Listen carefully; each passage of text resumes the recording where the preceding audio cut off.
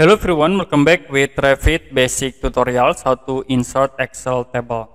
Okay, for example, I will create tables in Excel and in there I will sort and then you can use these tools to create tables and I will set in the top here into this color. The next, you can print out these tables into PDF. I will use a print area and print preview.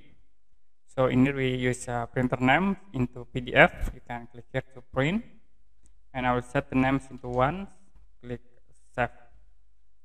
Okay, you can go back into Revit and then in here I will uh, click on sheet.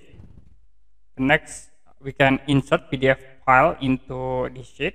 You can click insert tab and use link a PDF okay I will use this PDF and you can click open click OK. And then I will attach tables into here so we already attached tables in Revit. How about if we update these tables? You can go back into Excel. So like I will set the name in there into 1, 2, and 3. I will set into middle point. The next we can print out again these tables.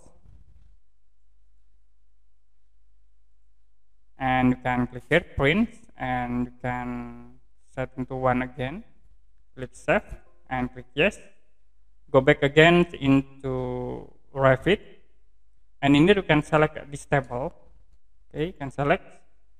The next you can click manage links. We have uh, these three links.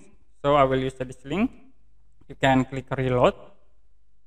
Click apply. And okay. So the table will be automatically updated